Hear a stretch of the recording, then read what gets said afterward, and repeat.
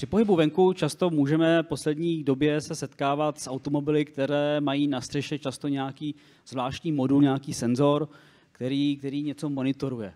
A takovýmto, takovýmito vozidly disponuje i společnost Cyclomedia a poprosil bych pana Pance z této společnosti, zdali by nás seznámil s tím, jak oni využívají tento vozový park a co vlastně dělají.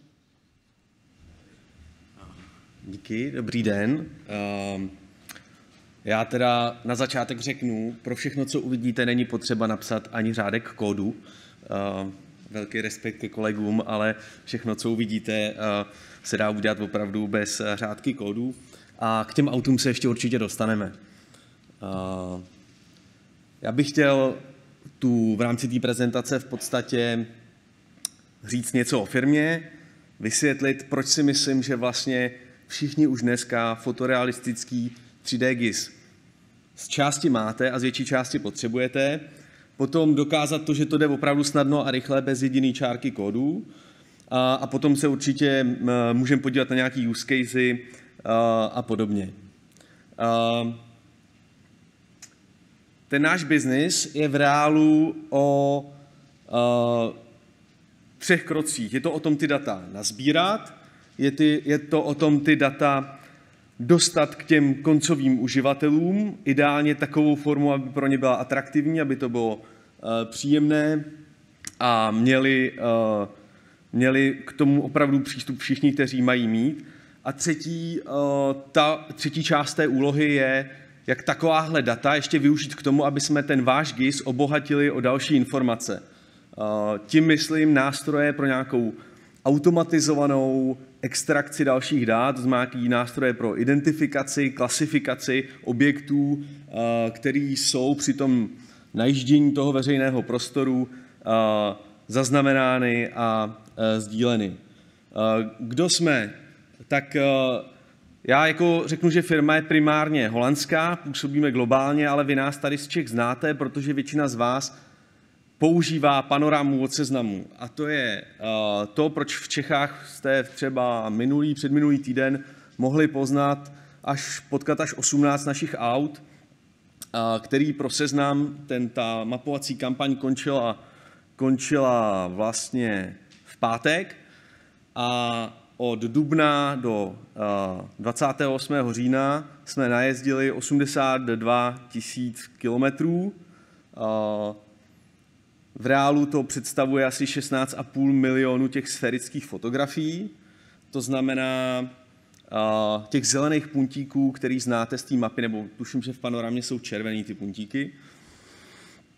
A jsou to ohromný objemy dát. V Čechách to v podstatě dělá 15 lidí, celosvětově je nás 300, z toho 150 lidí je vývoj a výzkum.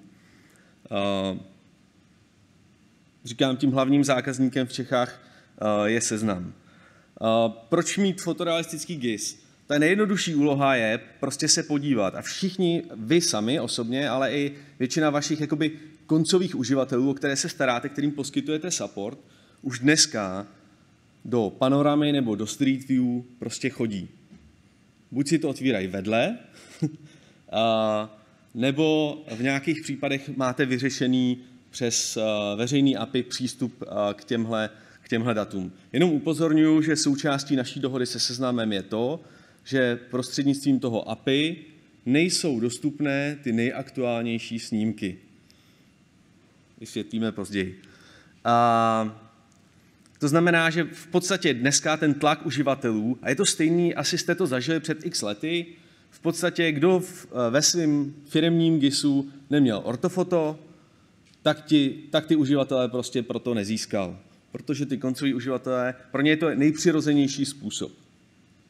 Ale řekněme, je to takový jako jednoduchý. Podívat se, je to tam, není to tam.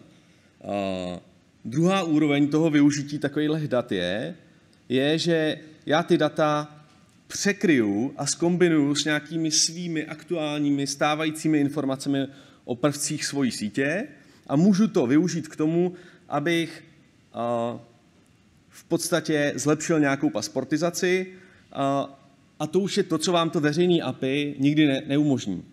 Tady už můžete kombinovat tu sférickou fotku s vašima vlastníma datama.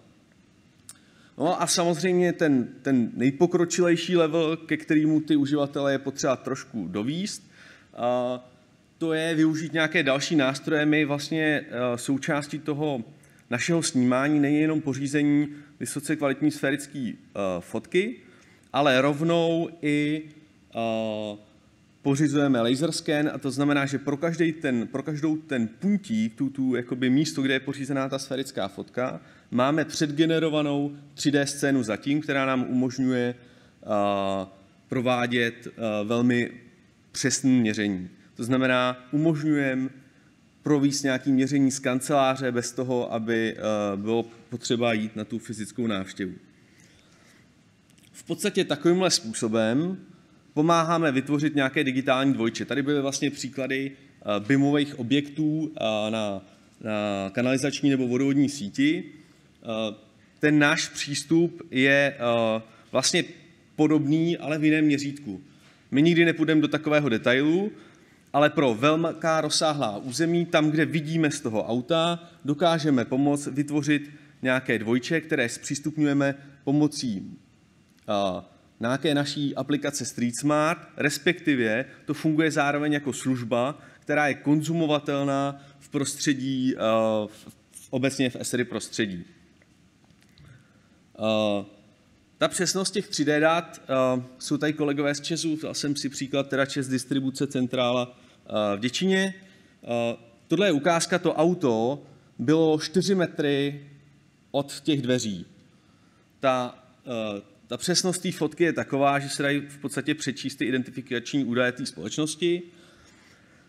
A samozřejmě uh, s tím souvisí i nějaká polohová přesnost, čím my říkáme, že průměrná střední odchylka je do 10 cm. Samozřejmě čím dál jsem od toho auta, od toho senzoru, tím ta přesnost klesá. Na druhou stranu, uh, tady jsme v utilitní sekci, jako většina těch věcí je zakopaná v tom uličním prostoru, kudy to auto projelo a, kam ty naše data dosáhnou. Jináč ta aktualizace těch dat, my někde projedeme, následuje nějaký postprocessing, který trvá třeba 4 až 6 týdnů a, následně jsou ty data k dispozici v té službě. Než je, jako pak to trvá třeba ještě měsíc, než se to objeví na, na, na panoramě. Uh, Tady je vidět eh, to pokrytí. Eh, je to tak, že v podstatě jsme začali eh, loni, projeli jsme nějakou západní část republiky, letos to je centrální část a příští rok bude západ. Trošku to odpovídá tomu, co znáte, jak fungovalo nalítávání ortofota. Vedle toho je tady to pravidlo, že 21 velkých měst, včetně Prahy, všechny krajské města, najíždíme každý rok. To znamená, dá se tam zase pracovat s tím rozdílem, s těmi časovými, časovými řadami. Není to jenom o tom získat tu fotku, ale co z té fotky dokážeme extrahovat. Máme nějaký automatizovaný nástroje, zase pro to učení těch neuronových sítí je tady ta výhoda toho globálního prostředí, máme hodně trénovacích ploch, ale tyhle věci, co tady jsou ukázané, máme vyzkoušené i v Čechách a z pohledu těch utilit je hrozně důležitá, bych řekl, něco, čemu my říkáme mapa povrchové situace. Řekněme, že to jsou nástroje, které umí ten uliční prostor vytvořit polygonovou vrstvu, kde jsou klasifikované povrchy tak, jak je potřebujete pro kalkulaci ceny v případě tvorby nějakých výkopových prací. To znamená, můžu pracovat, to si potom ukážem v nějakých dalších use casech. Um, možnosti propojení s, uh, propojení s Esri. My v podstatě máme dva předpřipravené nástroje. Uh, jeden ten nástroj je plugin pro Argis Online, uh, který vlastně jednoduchou konfigurací zpřístupní, přidá do aktuální mapové kompozice tu vrstvu těch zelených bodů, který ukazují, kde je nasnímaná ta, ta sférická fotka a jednoduchým kliknutím eh, se mi otevře okno na, díky tomu našemu pluginu, kde mám všechny ty nástroje, které potřebuju pro měření, pro uh, prohlížení, zavolání i třeba nějakého uh, zobrazení toho mračna bodů. úplně stejnou funkcionalitu máme připravenou i uh, pro prostředí, pro prostředí desktopové, kde můžete uh, zároveň tím, jak si konfigurujete v tom, uh, v tom bohatém klientu, jak si konfigurujete tu mapovou kompozici, tak můžete i ovládat to, co potom uvidíte, jaké aktivní vrstvy chcete vidět v tom sferickém snímku. A samozřejmě jsou tady nějaké jako use casey, jak to používat. Jedna věc je, že si usnadním práci těm koncovým uživatelům v tom, že prostě ne vždycky musí sednout do auta, jet na tu koncovou lokalitu a tam se podívat, uh, aby si přeměřili pár věcí. Prostě tohle dokážou dělat z velké části v kanceláři. Příklad z Německa, kde, kde Eh, jedna utilitní společnost společně s konzultantskou firmou PricewaterhouseCoopers, který sedí tady za rohem, prostě počítali, jestli se jim to vyplatí nebo nevyplatí do takových dat investovat. A spočítali, že při přípravě uh, nějakého telekomunik- výstavby nějaké telekomunikační sítě ze čtyř návštěv, který standardně dělali na té lokalitě při přípravě té stavby, už je tři, prostě tři udělají z kanceláře. Když vezmete, že to je minimálně hodina cesty tam, hodina cesty zpátky, poměrně drahýho člověka, je jasný, že to eh, je eh, věc, která určitě má smysl. Druhá věc je, dochází i k nějakému zvýšení bezpečnosti těch vašich zaměstnanců. Pokud prostě nemusí do toho terénu, v kanclu by se jim určitě hrozí menší nebezpečí eh, než na ulici. Druhý use case jsou nějaké automatizované nástroje pro návrh sítě tam většina těch nástrojů, my ty nástroje nedodáváme. My, co můžeme dodat, je právě ty vstupní, velmi aktuální vstupní data, které odpovídají té realitě v tom terénu. To znamená, pokud někdo má třeba nástroj, který uh, mu pomáhá navrhovat vedení uh, právě třeba těch telefonních uh, kabelů, tak potřebuje vědět ty povrchy, potřebuje vědět, kde jsou stromy, Eh, aby ten algoritmus, který je v tom nástroji, mohl správně, mohl správně počítat. Čili tadyhle je zase další use case, kde můžou být takhle aktuální data z toho území k dispozici pro tenhle účel. Dalším takovým nástrojem je, je určitě nějaká kontrola toho, jak ty reálné práce byly provedeny. Eh, je to kontrola různých výměr eh, a dalších věcí. Často je nějaká projektová dokumentace, ve finále, eh, to si přiznejme, realita vždycky jako se trošku odchýlí a to skutečné provedení stavby u těch liniových staveb ne vždycky jako je taky zaměřený ještě před záhozem a, a uvedením do původního stavu. Takže tadyhle je možnost, jak to kontrolovat i, i ex post. Samozřejmě dá se to kombinovat i s nějakými dalšími nástroji. Jeden další use case je nějaká zpráva majetku, pasportizace.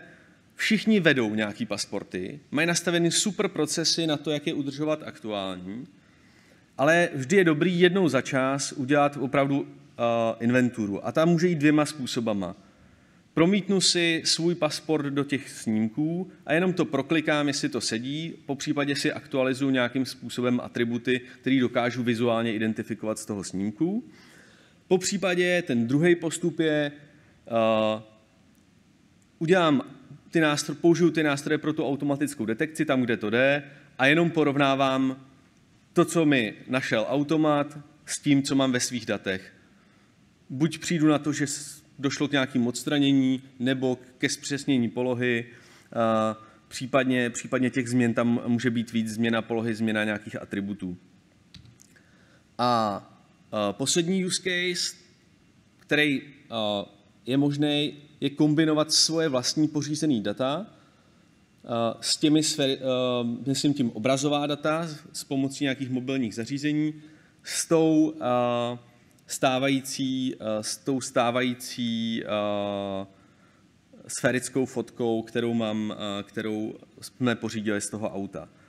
Tam určitě to jde třeba dělat u nás, stejně tak to jde kombinovat s tím, že ty data může pořizovat někdo ve FieldMapru uh, od Esri nebo, nebo v, jiném, v jiném prostředí. A zase to můžu použít k lepší dokumentaci toho, co, k čemu tam došlo. Jo? Může to být i nástroj k tomu, jak zdokumentovat tu, to místo té stavby předtím, než započne, když tam jsou potom takový ty spory, jestli byly uvedený uh, povrchy do původního stavu a podobně. A v podstatě všechny tyhle ty postupy mají vést uh, k nějakému uh, zlepšení finančních, finančních ukazatelů, případně to, k čemu vlastně taky zjišťujeme, že část firem nebo část firm naráží v podstatě na kapacity. Jo? Je tady velký tlak na to, na rychlost výstavby nebo úprav. A, a na druhé straně prostě ty kapacity dodavatelů nebo těch samotných projektantů jsou omezené. Pokud nemusím jezdit na ty lokality, pokud použiju nějaký stupeň automatizace, zase mi to umožňuje zvyšovat i tu vlastní, vlastní produktivitu. Eh, já možná děkuji za pozornost, budou asi dotazy. Já pokud budete mít ještě jakoby jednou poznámku, pokud si to někdo chcete vyzkoušet dát do svého Esry prostředí zdarma, stavte se u mě na stánku, já vám ukážu, co si musíte stáhnout zadarmo z marketplaceu nebo uh, přidat do Argis Online. Uh, pak mi dáte e-mail a pak si to můžete ve měsíc používat a vyzkoušet, jestli by se vám to hodilo nebo ne. Tak děkujeme za příspěvek. Prostor pro dotazy.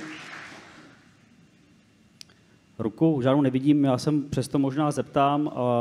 Na jednom z těch slajdů bylo, bylo informace, nebo zazněla informace o možnosti doplňku do Argis, do, do desktopu. Do desktopu i do, do Argis Online. No. A i do Argis Online přímo. Ale to jsou, to jsou jakoby standardní widget, který můžeme zapojit do něčeho, jako je třeba Web Builder aplikace nebo Experience Builder aplikace. Uh, já, já jsem obchodník, jo, takže Rozumím. já jsem si to stáhl. Přidal jsem si ve Web Builderu jsem si sám postavil aplikaci, kterou vám ukážu na stánku a nakonfiguroval ten plugin tak, aby fungoval v SJTSK s mými přihlašovacími údaji a s aktuálními daty, které jsou v podstatě na produkci, kterou vidí kterýkoliv komerční uživatel. Takže je to takový standardizovaný widget. Dobře, děkuju. A, a to samý teda platí i pro ten plugin do desktopu. Výborně, děkuju, děkuju.